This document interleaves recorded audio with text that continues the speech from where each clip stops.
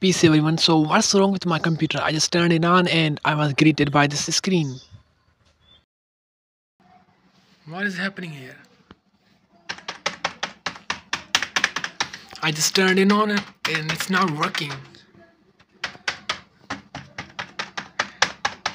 What's wrong with my computer, you know?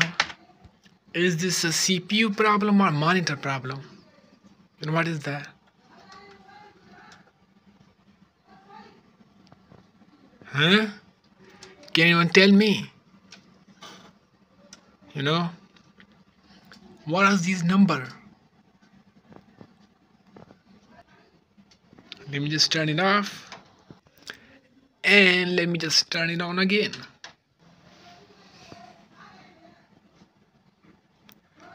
Actually, uh, please guys, what's wrong with my computer? Please help me solve these problems.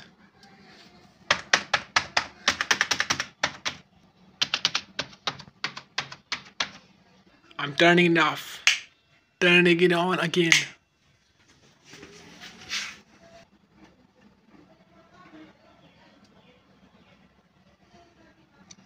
Now it's not even working. It just stopped working. I think I need to get a new PC. Anyway, see you.